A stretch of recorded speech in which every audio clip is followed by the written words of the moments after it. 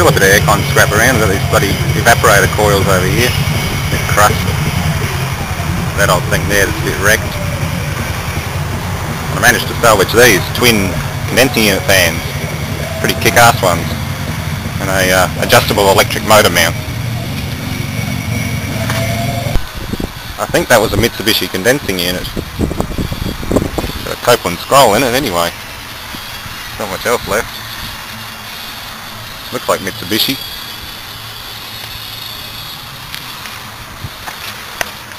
Nice big accumulator. Might have to snag that one.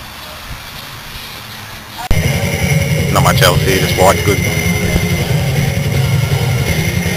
All just white goods now. Half a Land Cruiser body. Like they sabre sawed it.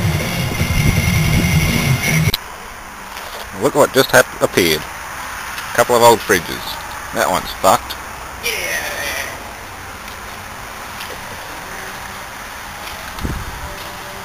That's nice. Flare fittings. Looks like it's been leaking too. There's oil.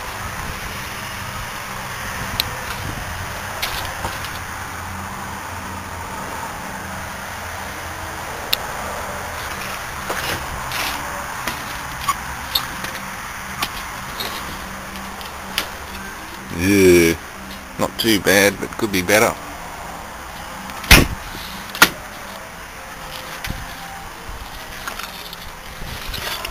Old car fridge, LPG, or caravan. Funny looking compressor that.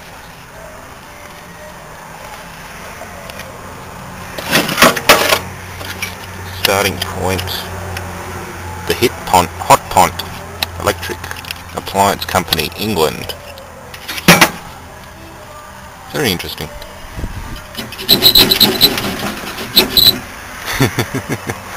it's almost semi-hermetic.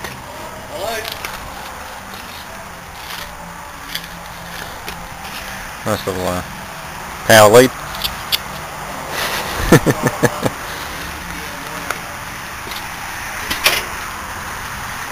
Lifeguard.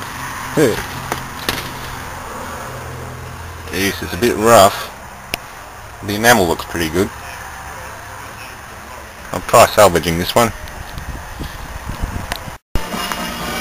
Just a quick demo of the Tire Machine turntable.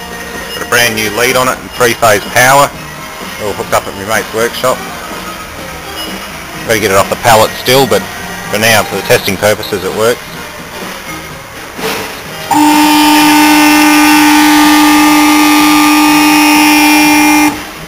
Normally when it's clamped, the clamps don't move, but the air compressor's not running.